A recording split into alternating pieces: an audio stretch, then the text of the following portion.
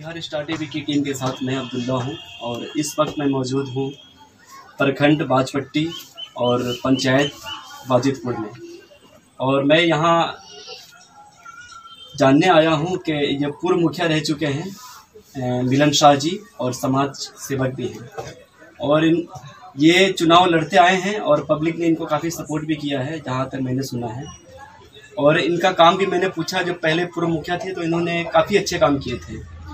तो मैं जानने की कोशिश करता हूँ उनसे कि सर, जो पिछली बार जो मुखिया थे, जो अभी दरमियाने मुखिया है तो उनके अंदर क्या कमी रह गई? जो आप चाहते कि जो काम होनी चाहिए था, नहीं हुआ, और आप आके उस काम को करना चाहते हैं। तो आइए सर से पूछते हैं। सात निश्चय योजना जो सरकार ने चलाया, उसके तहत रोड बने, नाला बने, हर घर में बिजली पहुँचे, हर घर में पानी पहुँचे, जो अभी तक नहीं किया गया है। उससे वंचित रखा गया है। उस कार्य को हम जीतेंगे तब पूर्ण करेंगे। यह मेरा उम्मीद है और संकल्प है। सर, एक बात हमने, काफ़ी गाँव में हमने घूमा है, पंचायतों में घूमा है तो वहाँ से चार पाँच शिकायतें बहुत आ रही है। जैसे कि इंदिरावास, आम भाषा हम कहते हैं इंदिरावास, उसमें काफ़ी लोगों ने लूट मार किया है इसमें। ठीक है सर, शौचालय वाला है और ब्लॉक स्तर पर भी काफ़ी मैंने सुना है, ऐसा होता है। और शिक्षा के मामले में, स्कूल में शिक्षा के मामले में बहुत से गरीब शिकायत करते हैं कि एक तो छात्र जो जो पोशाक का पैसा होता है वो नहीं आता खुद में। और जो अनाज सरकार लॉकडाउन के दरमियान जो अनाज बचा हुआ है स्कूलों के अंदर वो गरीबों में बांट नहीं रही है। तो सर इसके लिए भी कुछ करेंगे क्या अभी अभी तत्काल? हम करेंगे। क्योंकि जैसे इस पर जो वर्तमान मुखिया अभी जो है प्रतिनिधि मेरे गाँव का कोई फोकस नहीं है कोई ध्यान नहीं है। जैसे कि मैंने पूर्व में बताया कि महादलित टोला में हमारी द्वारा एक नवसृजित विद्यालय का निर्माण किया गया था। और वहाँ आने जाने के लिए बच्चों को बड़ी रास्ता के चलते बड़ी कठिनाई हुई। लोगों ने जबरन लोगों ने, वर्चस्व लोगों ने रास्ता जो पहले से पूर्व थी, आने जाने में, आने जाने के लिए, बच्चों को आने जाने के लिए, समाज को आने जाने के नागरिक आने जाने के लिए, घनी आबादी टोला है। फिर भी वहाँ रास्ता जबरन बंद कर दिया गया है। स्कूलों में बच्चा को आने जाने में कठिनाई हो रही है शिक्षक को आने जाने में कठिनाई हो रही है जिससे पढ़ाई पर अवरुद्ध हो रहा है। जहाँ तक पोषाहार और छात्रवृत्ति पोशाक ये सब की बात है उसमें मनमानी ढंग से किसी को दिया किसी को नहीं दिया। कोई आदमी अपना हक लेने के लिए बोलता है तो उसको डांट करके भगा दिया जाता है। इस पर प्रतिनिधि होते हुए, मुखिया होते हुए इस पर किसी तरह का निगरानी नहीं करते हैं और समाज को हक दिलाने का काम अभी तक नहीं कर रहा है। सर, मेरा एक अहम सवाल है, खास करके महिलाओं के लिए कि महिलाओं को बहुत दबाया जाता है।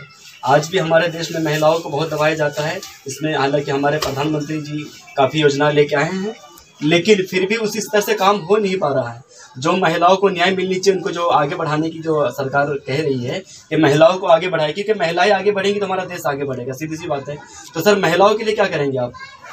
महिलाओं का जो सरकार के द्वारा जो सशक्तिकरण किया गया है जी। और आरक्षण दिया गया है जी।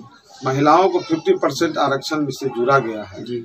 जो हमारे यहाँ उससे वंचित रखा गया है। उस कार्य को हम पूर्ण रूप से महिलाओं का जो अपना आरक्षण है, वो आरक्षण दिलवाएँगे और आरक्षण के तहत महिला का सशक्तिकरण में हम मजबूती लाएँगे और हर महिलाओं को अपना जो हक मिलता है, वो हम दिलवाएँगे। सर, एक अपील आपसे हम करवाना चाहते हैं अपने अपने आपकी पंचायत के लिए कि आप महिलाओं से अपील कर दीजिए, क्योंकि आपकी इज़्ज़त काफ़ी मैंने सुना यहाँ पर, कि कुछ लोग अभी भी बेटी को नहीं चाहते हैं। बहुत से लोग अभी हालाँकि सरकार इस पर कई कदम उठा चुके हैं लेकिन वो चाहते कि बेटा ही हो। सर बेटी क्यों नहीं? क्या है? बेटी तो हम कहते बहुत बड़ा नियमत है कुदरत का। सही बात है। बेटी अभी जो समय में है बेटा और बेटी सब दोनों। एक ही माने संतान के तरह है।